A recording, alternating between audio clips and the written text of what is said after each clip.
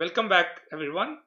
Uh, we are going to continue from our last lecture in which we started uh, obtaining the response of a single degree of freedom system subject to harmonic load. Today we are going to focus on damped system. Okay, and then see how the response of a damped single degree of freedom system subject to harmonic load, how does it differ from an undamped system? Okay, in previous class, we discussed what is the response of a undamped system subject to harmonic excitation. Okay, but we said that in reality or for all practical utility, all the system would have certain amount of damping in them. Okay, so today what we are going to discuss is damped or maybe I should say viscously damped system okay. Damped SDOF subject to harmonic excitation. Okay. And as we have been uh, doing like you know till now what I'm going to do I'm going to write down my equation of motion for this. So what do I get here as mu dot? Plus there is a damping term now cu dot plus stiffness from dot that should be equal to the applied force which is harmonic in this case which can be represented as P naught of P naught times sine of omega t. Okay, so now our goal is to obtain the response or solve this differential equation and get the expression for u of t and then physically interpret all the results that we get from it for different values of the parameter. Okay, now we already know that if we have a linear differential equation, second order differential equation, the total response can be written as sum of particular solution plus complementary solution where particular solution is any unique solution that satisfies this equation and complementary solution is the solution to the homogeneous part of this equation by setting the right hand side equal to 0. Okay, now if you look at this carefully, let us first look into the particular solution of this. So what we basically want is the expression for u, u p of t. Okay, that should satisfy this equation that I have here. Okay, so let me just write it as sine omega t right? Now when the system was undamped and this term was not there we simply said that because the left hand side correspond like you know contain only up and double differential of up okay which is equal to some constant times sine omega t. The solution would be in the form of some constant times sine omega t because if you take sine omega term and then double differentiate it, then it would have some value times again the sine omega term. However, in this case, I have single differentiation of UP as well.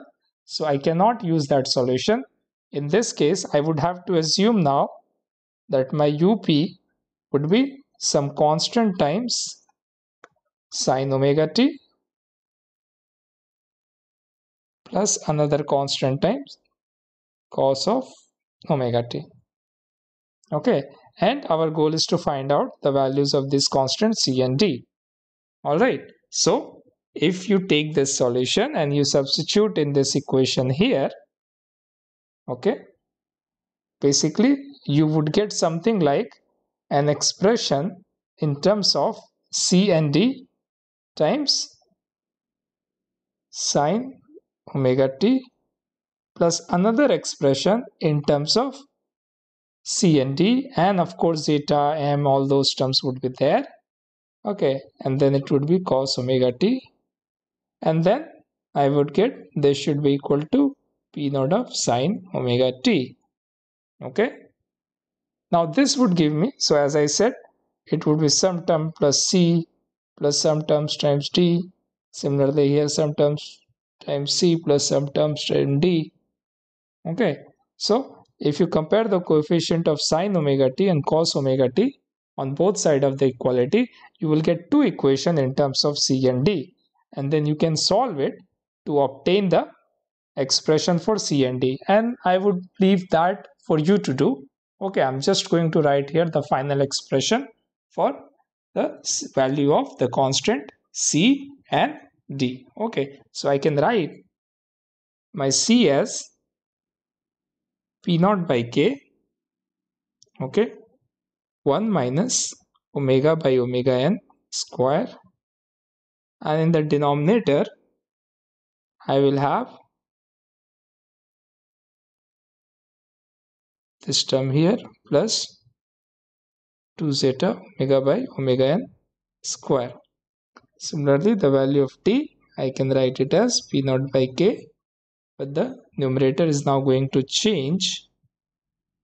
I would have this term here and denominator is going to remain the same what I had for C. So let me just write it here again anyway. Okay.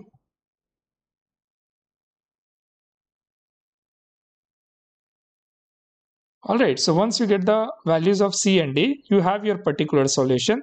Now you want your homogeneous solution. Okay, so you want what would be the UC of T that satisfies what equation?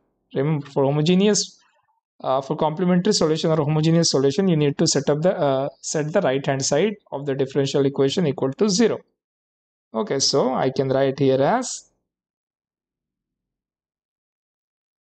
C and then okay.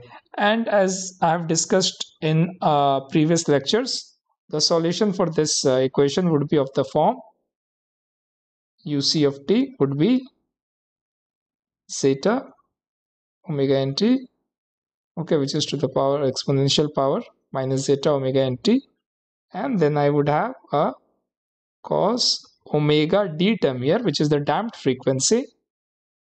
And then I would have sine omega dt. Okay so the final expression for ut which is sum of both solution okay can be written as sum of up of t and then uc of t. So let me write it this as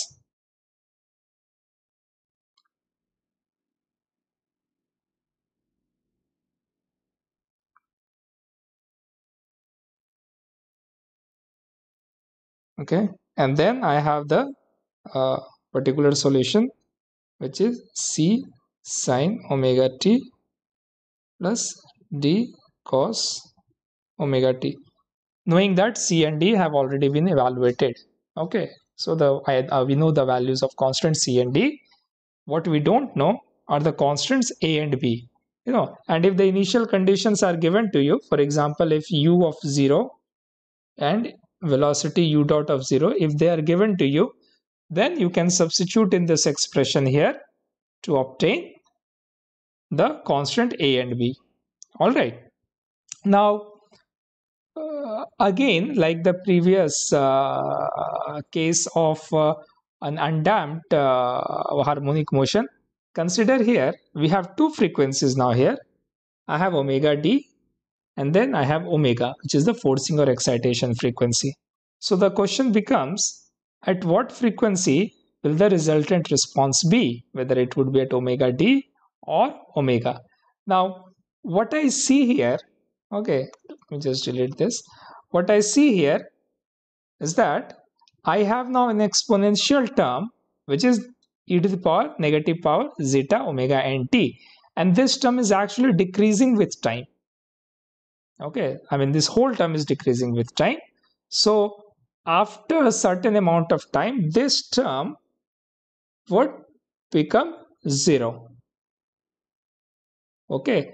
And as we said the term that vibrates at the frequency of the structure which in this case is omega d is called the transient solution. Now the wording or the def or the name transient was not very clear when we were discussing undamped harmonic motion. However, in this case, now you can see why we call it transient solution. If you look at here, after some time, okay, and the time like, you know, it depends. you know on the value of what is zeta and omega n but after some time we know for sure that this term would become almost negligible and equal to zero so i would be only remaining with this term the second term here okay so this is called transient solution okay or the transient vibration? And the second part which is a particular solution it is called steady state. Okay because steady state is reached okay it is a state that is steady after a certain amount of time okay all these vibrations actually died out and what you are left with is this steady state solution okay so like we did for uh, undamped harmonic motion let us again try to plot this function okay so now we know that our total vibration consists of two type of vibration. One is the transient response, another one is the steady state response. Transient response is basically damped free vibration, okay? And the steady state is like forced part of the uh, forced vibration at frequency which is equal to the forcing frequency. Okay, so first let me just draw the both responses here. Okay, so if I draw the first part, let us call this U1 and let us call this U2. Okay, so if you try to draw U1, depending upon the initial condition or whatever, it would look like something like damped free vibration. Okay, so it will, the amplitude will keep on decreasing and after sufficient amount of time, it will go to zero. Okay, but then I have also the other part, which is the steady state, and I can see that my steady state is actually it is not decreasing in amplitude. Okay. It is remaining constant. All right so let us see. It start let us say at this point and then it has certain amplitude. Okay. Something like that. So this is steady state. And this is transient. Okay? So u1 here and u2 here. So the total response is basically the sum of these two responses. Okay? The total response is actually sum of these two responses. And how I can write basically draw it it would uh, look like something like this. Okay pardon my drawing. I'll try to uh, do uh, as best as I can. So it would look like something like this.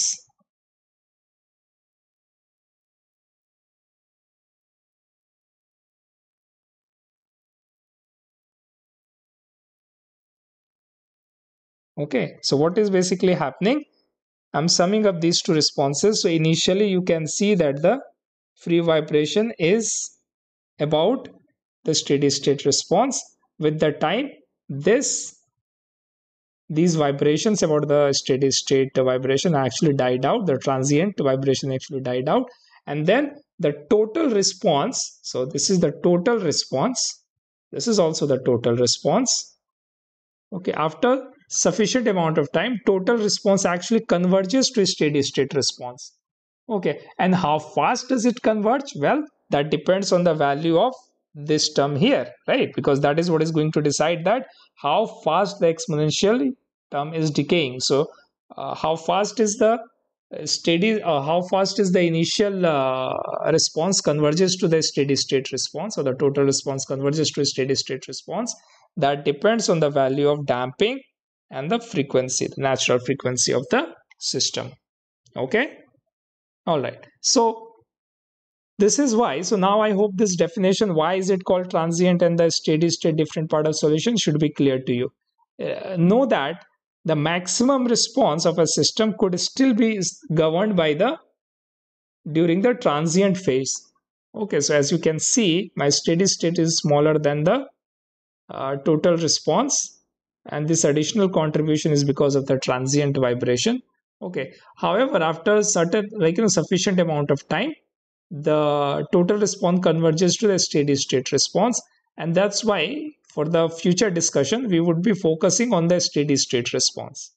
All right. So let us go ahead with our steady state response. Okay.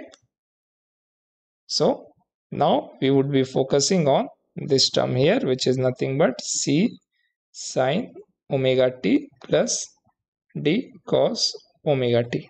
Okay, but before going to that, we discussed about the concept of resonance in the last lecture, and we said that a resonant frequency is the frequency at which RD or the dis, dis, or the deformation response factor, or you can just simply say that uh, resonant frequency is the frequency at which the response becomes maximum.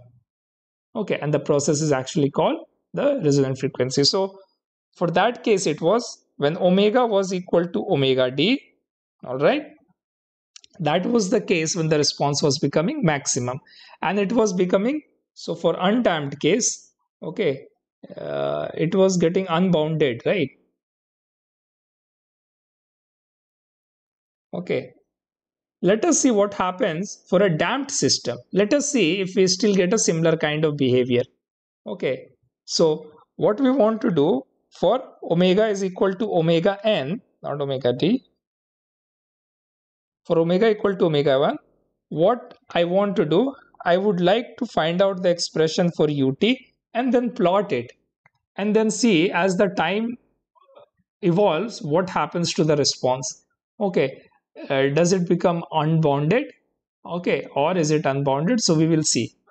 Okay now let us say for this value of omega by omega n okay uh, again let me consider the total solution including the transient solution. What was the total solution that i had written? It was zeta omega nt i had a cos omega dt plus p sine of omega dt. This was the transient part and then I had the steady state part which was c sine omega t plus d cos of omega t. Okay, now I, I know the expression for c and d, right? So the expression for c is basically nothing but p naught by k. Okay, I have 1 minus omega by omega n square divided by the whole term here okay and then d is also similar to this. However in the numerator i have minus 2 zeta omega by omega n. And then i have it in the denominator here. Now if i substitute omega by omega n in these two expressions okay let us see what do we get. Okay. And so c i would get as because omega and it is a numerator, uh, numerator this term becomes 0 so c would become 0 d would become here i get as p naught by k. Okay so let me write p naught by k as ust naught which is the peak static displacement. Okay? And then in the numerator i would be left with 2 zeta in the denominator. Remember we had term uh, here. Or oh, let me just write here as well so that there is no confusion. Okay 1 minus omega by omega n square plus 2 zeta omega by omega n square. So when I substitute this, I will get this as 2 zeta whole square. So this I would get d I would get as ust naught divided by 2 zeta. Okay. Now if you substitute these in this expression here, okay, and utilize these initial condition let us say u0 of 0 and u dot of 0 is equal to 0 so we are assuming that the system was initially at rest okay? We can find out the values of a and b okay? So after substituting i'm not going to do all those calculation okay? Just giving you the values of a and b okay?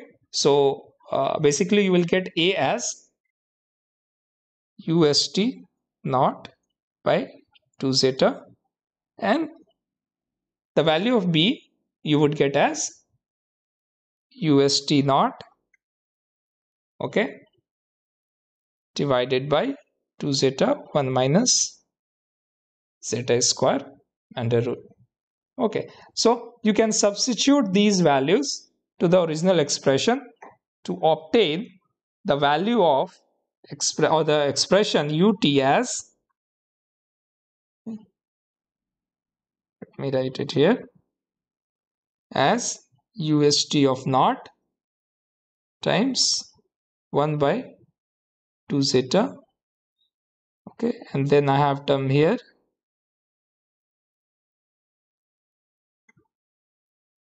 Cos of omega dt zeta 1 minus 1 zeta square. Okay and then sine omega dt. This is the transient part of the solution. And then I have another term which is cos omega nt. All right. So I basically get this expression here. Okay. Remember that this was the forced vibration but because omega was equal to omega n I'm writing it like this. All right. Now for a small value of damping let us say damping is smaller than 10% uh, or for like you know it is typically let us say it is 5% okay I can make some assumption and further simplify this expression here. Okay so for a small value of damping small value of damping here. Okay I can write this expression I can uh, I can simplify this expression further okay. So my omega d would become omega n. This term I can neglect. Okay because it becomes very small and multiplied by zeta for a small value of damping so what I'm going to basically left with my ut as ust naught okay divided by 2 zeta and then here I would have this term here into cos omega nt. Okay? Now we have this system. Let us see if we plot this system how does it look like? Now can I say that as you increase the value of t okay basically this system here would reduce to 0 but overall my ut would never go to 0 okay what it would what would happen? Uh, remember that this is a harmonic function cos nt and this is basically represents the time varying amplitude of this function ut okay so as t increases this term would vanish and then I would reach a constant amplitude which would be represented by ust naught by 2 zeta because this term vanish. Of course there's a negative sign but doesn't matter because cos omega nt is basically vibrating between plus 1 and minus 1 okay so if I try to plot let us say here ut divided by ust naught here. Okay what would basically happen let me draw this envelope curve here. Okay so this represents the asymptotic line which is the constant amplitude. So in this case it is 1 by 2 zeta. Remember 1 by 2 zeta is equal to ut by ust naught right? So the amplitude is actually ust naught by 2 zeta. And let us say this is t by tn so what will happen? The vibration will start like this. Okay because omega is equal to omega n the amplitude will start to increase. Okay however because the system has some damping what will happen after some time? Okay after some time this term here would vanish. And then due to applied force, I would have a const amplitude with const basically constant amplitude. So a vibration with constant amplitude. So the response does not become unbounded if a system has damping. Instead, the maximum value of ut in this case is actually ust naught by 2 zeta. And as you can see, it is very, very sensitive to the value of damping okay so if the value of damping is very small or like let us say bordering to undamped system let us say 0.01 this ut would be very high right? But if the value of damping is let us say some uh, reasonable value let us say 5% or 10% then my system would still the response would still be bounded. Now this is the technique that is typically used in different kind of structural engineering systems. So uh, different structures let us say there is always a possibility that due to applied force and the source of force could be like you know seismic wind or any other type of uh, force that has like you know different frequencies uh, uh, in them. What happens that if we want to avoid damage to the structure we include some damping in the structure so that even if there is a resonance my response is still bounded. Okay now how do we provide damping in the system? Well there are various ways to do it. We could like you know people use uh, added damping devices. So you could use supplementary damping using viscous dampers. You can use friction dampers. There are different type of dampers but the idea is to provide damping in the system because we might not be able to predict always predict like what kind of frequency the loading might apply right because loading then would have like you know different frequencies. And like you know even if you anticipate that frequencies uh, this would be the frequencies it is always to better to take countermeasures okay and include damping in the system. Because if that there is damping in the system then the response would always reduce. Okay so this is one way to actually safeguard including damping in the structure okay is one of the ways in which we can safeguard our structure against resonance. Okay. I hope this is clear to you. Okay now what we are going to do here we have said we have discussed the basically the resonance phenomena for a damped system. Now i'm going to come back to again my expression for ut so the total expression again let me write it and I like to write it again and again so that you can have a look at it. Sometimes these expressions could be overwhelming. If you look at them uh, again and again, it would help you to conceptualize each and every term. All right. So let me write it here again. Zeta omega nt. I have A cos omega dt plus B sine omega dt plus then I have the second uh, part of the solution which is c sine omega t plus t cos omega t. Alright, and we said that this response, this transient part of the response which is vibrating at frequency omega d is going to die down okay after some time and our main concern here is that steady state response here and that is what we are going to discuss further. So let us take the steady state response.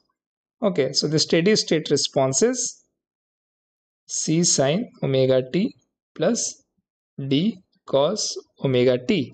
Where's the expression for c and d? I have already presented. Okay now you know that this kind of expression can always be written in the form of u naught or before writing it as u naught uh, let me write it like this. C square plus d square. Okay? And I can write this as sine omega t c divided by c square plus d square plus cos omega t t divided by c square plus d square. Okay. So I can write this expression as c square plus t square times sine of omega t which is the first angle minus phi. Okay. And what is sine a of minus b? Okay. It is sine a cos b minus cos a sine b. Okay. So if we compare b to phi and then write it here, can I say my tan phi here would be or just for this like you know let me first write down the uh, first the cos phi my cos phi is c divided by c square plus d square and my sine phi is minus of t divided by c square plus t square. All right. Okay. So if I write it further, I can write this thing as u naught times sorry not u naught let me again write it here as ut of this is u naught sine of omega t minus phi where u naught is the dynamic amplitude okay which is equal to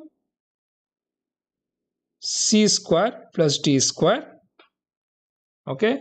And my tan phi here is minus d by c. So i can write phi as tan inverse minus d by c. Okay? Now all you need to do is to substitute the values of the expressions d and c. Okay? And then you can would be able to find out the value of u naught n. So i know that let me just write here again. My c is nothing but p naught by k or i will just write well i could either write p naught by k or i can just write ust of naught which is the static uh, my peak static deformation. Okay. So this was this term here. And then I again had the square of the same term in the denominator okay and my d was p naught by k 2 zeta omega by omega n. And then I had the same term that I have in the here okay? So when you substitute these expressions what you would get as u naught as p naught by k times this expression here which is 1 minus omega by omega n whole square to the power square times 2 zeta omega by omega n square and this under root. Okay which i can further write as remember p naught by k is nothing but ust of naught times and the this factor this this whole factor here i write as rd okay and if you substitute tan phi you will get as okay 2 zeta omega by omega n divided by 1 minus omega by omega n square. Okay, so what we have derived actually that for a steady state my response can be written as u naught times sine omega t minus phi which is nothing but ust naught times rd times sine omega t minus phi where the deformation response factor RD, okay, deformation or displacement response factor, okay, RD is this expression right here.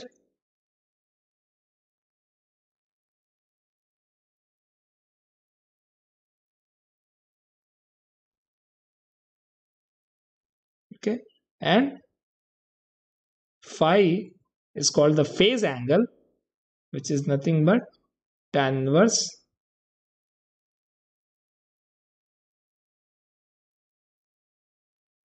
again square. Okay so this basically you need to understand. Okay so this is the expression for the ut and the expression for deformation response factor and the phase angle. Now let us see what do they mean, right? Now as we have previously discussed, RD or from here, RD is basically the ratio of the dynamic amplitude to the static amplitude and represents the effect of dynamic behavior of the system on the response of the single degree of freedom system. Okay, and phase angle which is also called a phase lag it represents with respect to the applied force right? With respect to the applied force which in this case is pt what is the lag that is there in ut remember my pt was nothing but sine of omega t. Okay however ut was nothing but some constant times sine of omega t minus phi so if you try to plot these function it would simply mean that sine to omega t starts at 0 depending upon the value of phi it might start early or it might start late. And this is the difference by which the response would follow the applied force. Okay. So it is something like that. If you apply the force to the right okay whether your response is to the left and vice versa. Okay. So with respect to applied force in which direction is the displacement? Phi basically gives you information on that. Okay so what i have done here i have considered systems with different values of frequencies ratio. Okay i consider let us say 0.5 okay and then i've considered system with omega by omega n is 1 and then 2 and then i've tried to plot the response the dynamic response ut and also the static response ust okay not the peak value remember these are the time variation. Okay where ust is nothing but whatever your pt is divided by k without the influence of any mass. Okay and ut is of course the dynamic displacement so obtained using solving the differential equation. Okay so i've tried to obtain for these value and let us see for these values of frequencies frequency ratio how does the response, the static response. Remember, static response because it is simply divided uh, is the force divided by the stiffness. It also represents the force response. Okay, so they are in completely in phase. The static response and the applied force. Okay, so let me. I have done some calculation and uh, got this. Okay, I'll just paste it here for you to see. So what do you see here basically, this is the case where omega by omega n was 0.05. This was the case where it was actually 1 and this was the case where it was actually 2. So what do you see? I mean, the blue line is the static one. So by static deformation or which is also equal to 4 starts at t equal to 0 at 0. However, my dynamic displacement is when it is 0 it is at some negative value. Okay. And it comes to 0 or let us say this represents the equilibrium position here. Okay. After this much of distance.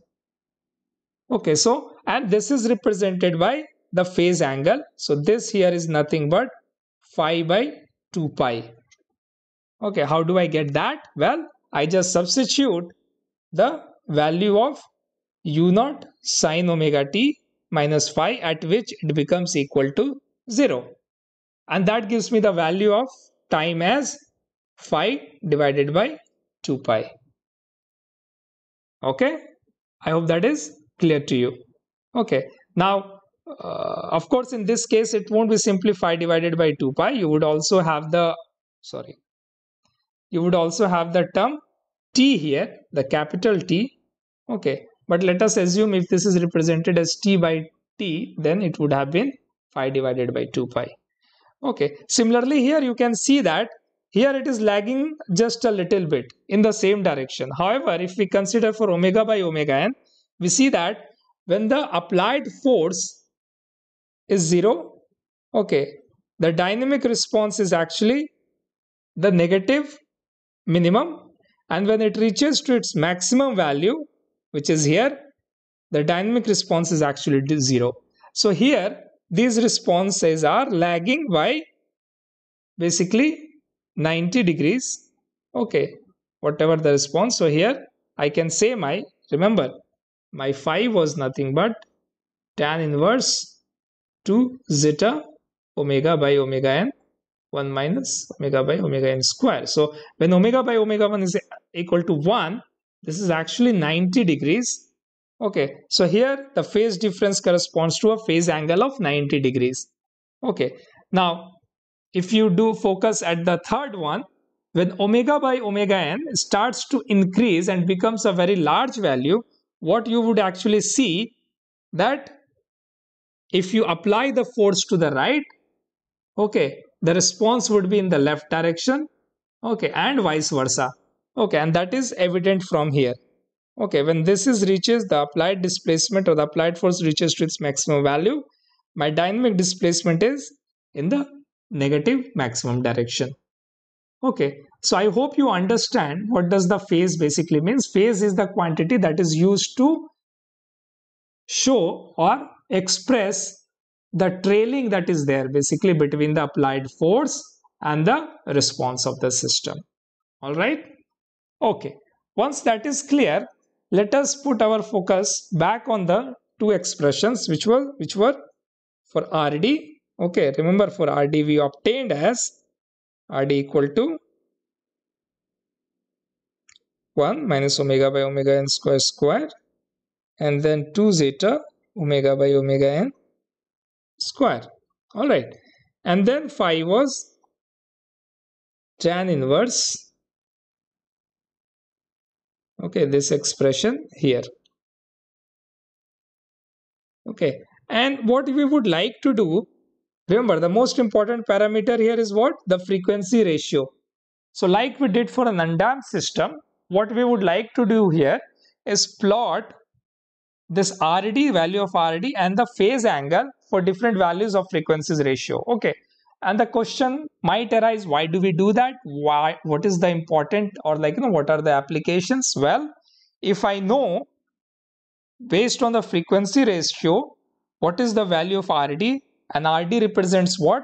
It represents the amplification or reduction in the response due to the dynamic behavior of the structure or due to the frequency ratio here right? So if i know that then i could design my system to have response in within certain level okay? Within certain so amplification within a certain level or uh, reduction within a certain level okay? And similarly for the phase okay? So let us see how this one looks like okay? Now if you remember from the previous lecture for an undamped system okay and what maybe let me just draw it in the side. So we had something like this. Okay. All right so this is let us say rd which is the displacement response factor or deformation response factor. And the horizontal axis was nothing but the frequencies ratio frequency ratio okay. And just below this we will also draw our phase angle. Okay. So we know that if omega by omega n is very small, for example, omega by omega n is less less than equal to 1 or let us say close to 0, my RD value actually approaches to 1, right? You can see from this expression. If omega by omega n is equal to 0, then RD becomes 1. Okay. Now, when omega by omega n becomes very large, like in this case here, what I'm seeing here, my RD becomes 0. Okay, so I can say that starts to increase somewhere here and then for large value it starts to, it will converge at some point here. And for undamped system, we saw that the value was actually unbounded at omega by omega n equal to 1. However, if you look at in this case, when omega by omega n equal to 1, my RD is now, it is not infinity anymore. It is not unbounded anymore. It is actually 1 by 2 zeta. You can substitute here. So I would get different expression for RD depending upon the value of zeta. Okay, for a value of for the undamped system where zeta is 0, this actually becomes unbounded like something like this. Okay. Okay, and for different value of damping, I would obtain different curves here.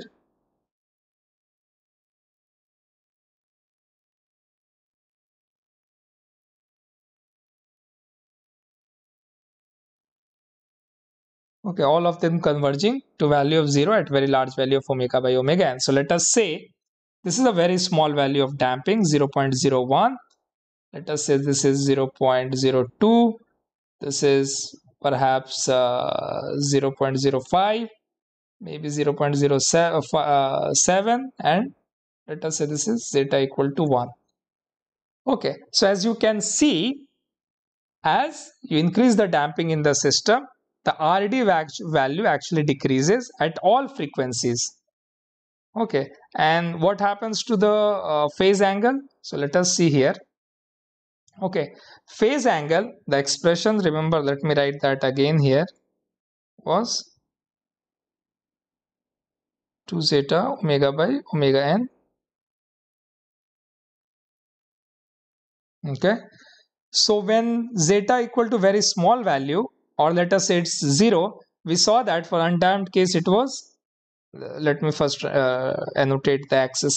So this is 0 90 180 this is phase angle. Uh, this is frequency ratio 0 1 2 and 3 so for undamped case, we saw that it was value for value omega by omega n less than 1, it was 0 and then for greater than 1, it was 180.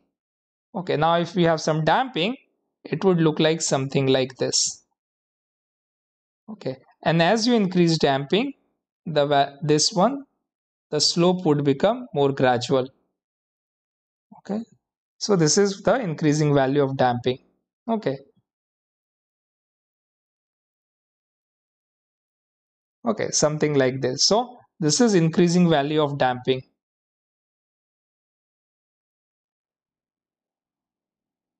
All right. Okay. So the way we utilize all these results is the design of like you know different type of systems. For example if somebody says to you okay that within the limitation of the properties of a system you want your response or dynamic amplification okay not more than let us say uh, if 0 this is let us say 1 2 3 4 okay whatever here okay. They want that well the system or the support can sustain only the deformation up to this okay? So you would ideally like to design a system for which you can appropriately provide damping so that the response is within this level okay? Or you can design your system based on the frequency okay? So that it always falls in this zone. Similarly if somebody says to you well is it possible that i can reduce the response of the system subject to load to less than 1 so the dynamics is actually a dynamic uh, response is actually smaller than the static. Well you could say that you are going to design a system so you're going to provide either omega n which makes it this value of rd less than equal to 1 here. Okay so these charts are actually very useful in design underst first understanding the behavior of a dynamic system and then design utilizing it to design different type of systems. Okay. Now we, we saw that our value of rd or the dynamic response actually decreases at all values of frequencies if zeta is increased. So RD decreases as zeta is increased. Okay, so my displacement is displacement of the dynamic system. So let me call it uh, dynamic displacement.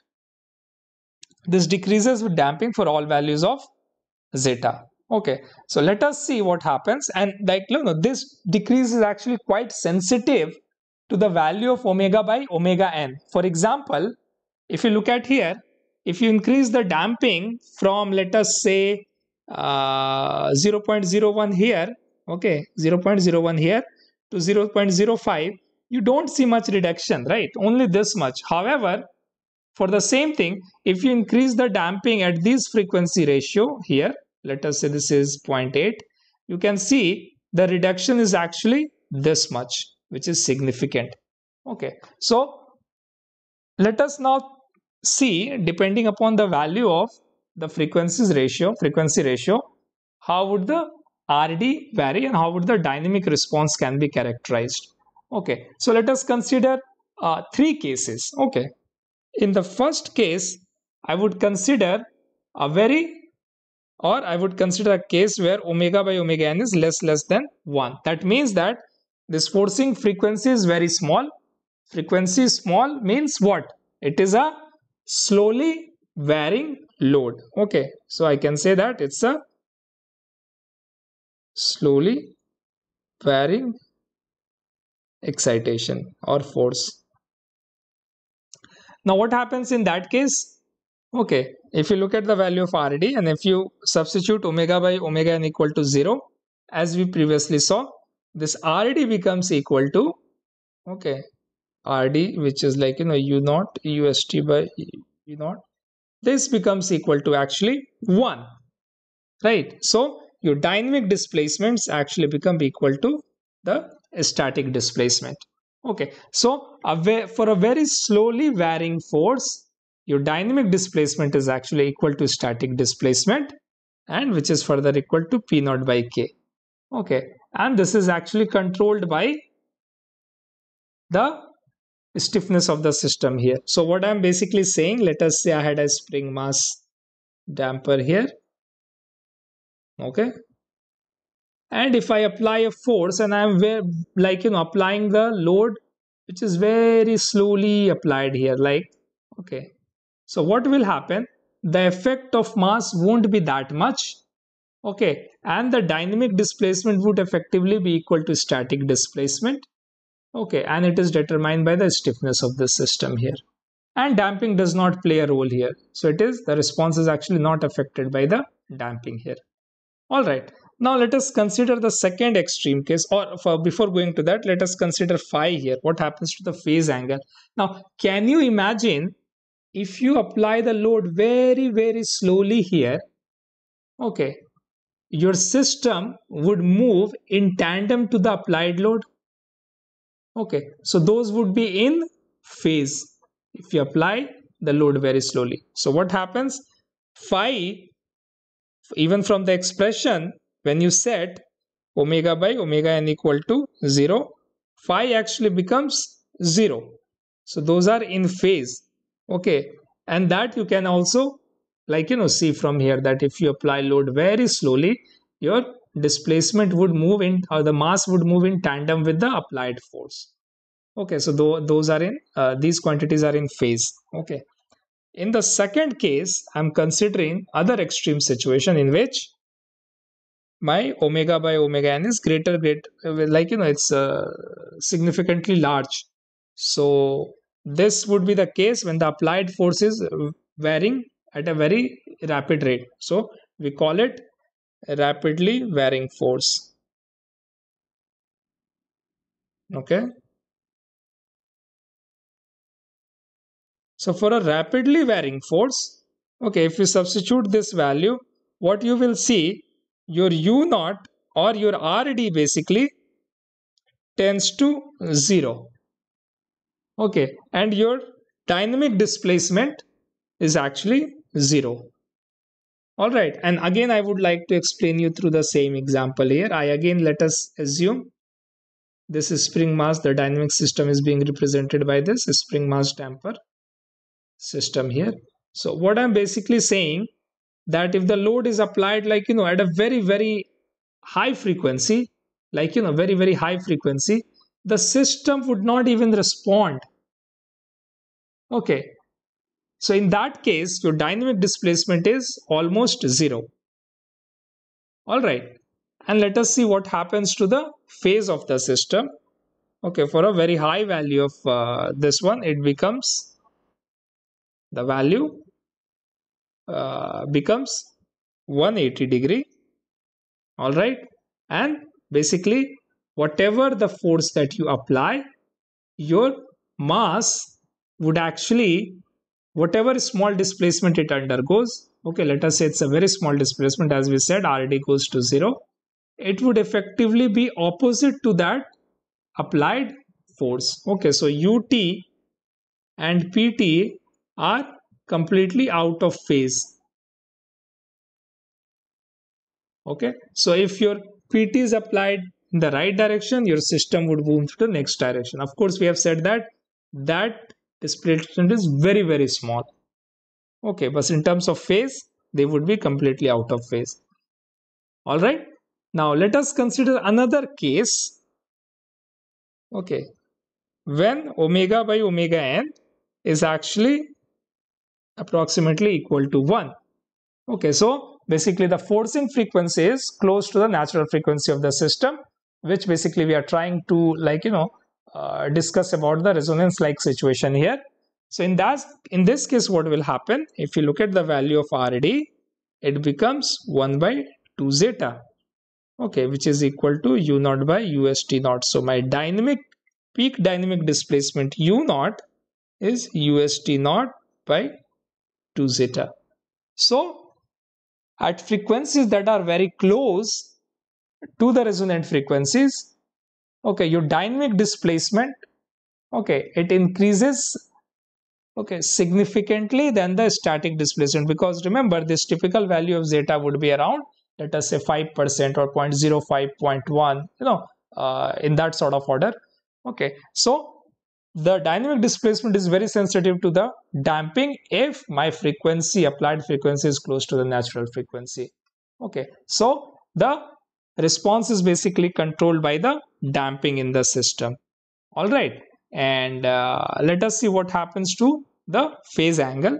So phase angle would become in this case all right 90 degree. If you substitute omega by omega n okay denominator would be 0 so it would be tan inverse of infinity which would be which would effectively give you 90 degrees. So basically the applied force pt and ut they are out of phase by 90 degrees.